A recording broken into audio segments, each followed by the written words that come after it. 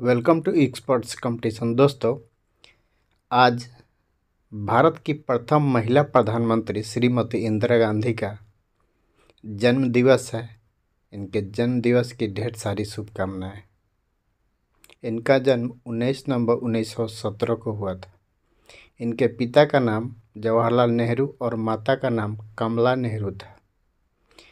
इनका नाम जो था, वह प्रियदर्शनी नाम था।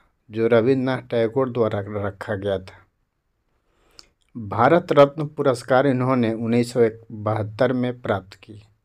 बांग्लादेश की स्वतंत्रता के लिए मैक्सिकन अकादमी पुरस्कार उन्नीस सौ बहत्तर में इन्हें प्रदान किया गया। एफएओ का दूसरा वार्षिक पदक उन्नीस सौ तिहत्तर में प्राप्त की। नागरी प्रचारिणी सभा द्वारा साहित्य वाचस्पति हिंदी भाषा में पुरस्कार उन्नीस सौ छिहत्तर में इन्हें प्राप्त किया। तीसरे कार्यकाल के दौरान भारत के उन्नीस सौ इकहत्तर के युद्ध में पाकिस्तान को हराया और बांग्लादेश का निर्माण हुआ। भारतीय राष्ट्रीय कांग्रेस के अध्यक्ष उन्नीस सौ उनसठ से 1960 तक रही। फिर वह जनवरी से 1978 तक रही। भारत की प्रधानमंत्री जनवरी से 1966 से लेकर मार्च 1977 तक तीन कार्यकाल के दौरान रही।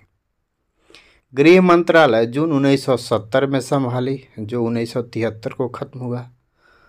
अंतरिक्ष मामला मंत्रालय जून उन्नीस सौ बहत्तर में संभाली, जो मार्च 1977 तक चला। चौथा पीएम का कार्यकाल जो था, उनका 14 जनवरी 1980 से लेकर 31 अक्टूबर उन्नीस सौ चौरासी तक रहा। सबसे अधिक इकसठ सौ तीस दिन तक पीएम जवाहरलाल नेहरू रहे और दूसरे अधिक पाँच हज़ार आठ सौ उनतीस दिन तक पीएम इंदिरा गांधी रही।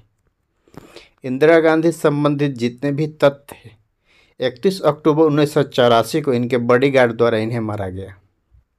इनका देहांत हुआ।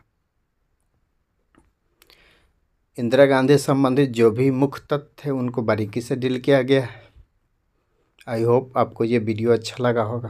वीडियो अच्छा लगे तो सब्सक्राइब और लाइक कर दीजिएगा। जय हिंद, जय भारत।